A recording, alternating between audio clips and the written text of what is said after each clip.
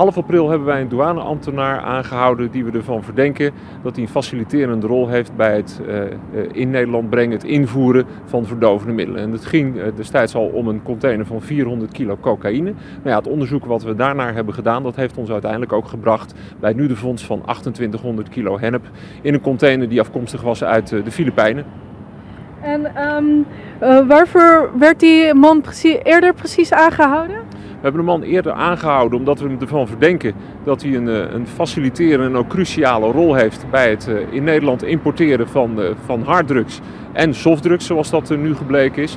Maar ja, dat heeft ons uiteindelijk gebracht bij de vondst van 2800 kilo hennep. En um, uh, ja, hoe zijn jullie deze man op het spoor gekomen? We zijn de man op het spoor gekomen door een omvangrijk onderzoek.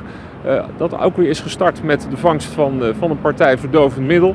Ja, en dat is een beetje de dynamiek van zo'n onderzoek. Van het een komt vaak het ander. Als je maar blijft onderzoeken, dan ga je ook dingen zien. Nou, in dit geval zijn we dus ook gestuurd op een nieuwe container met verdovend middel. Dit keer softdrugs, hennep. Maar ook nog steeds voor de gezondheid uh, gevaarlijk spul. En een behoorlijke hoeveelheid hè, met die 2800 kilo. Dus we zijn blij dat we die uiteindelijk in beslag hebben kunnen nemen en ook kunnen vernietigen.